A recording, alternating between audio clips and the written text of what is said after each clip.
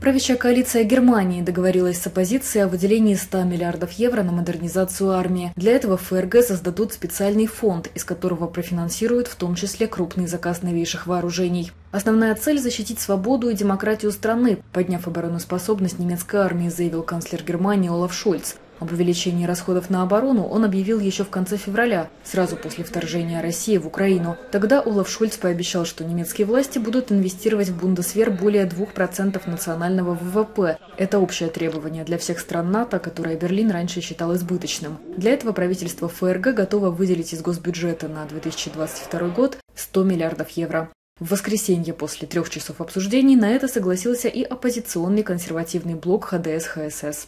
После окончания Холодной войны Германия сократила численность армии с примерно 500 тысяч человек в 90-м году до 200 тысяч сегодня. Согласно отчету о состоянии Бундесвера за декабрь прошлого года, в полностью рабочем состоянии находились менее 30% военных кораблей.